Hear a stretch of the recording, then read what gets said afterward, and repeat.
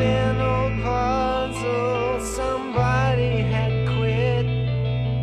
Tried a few people.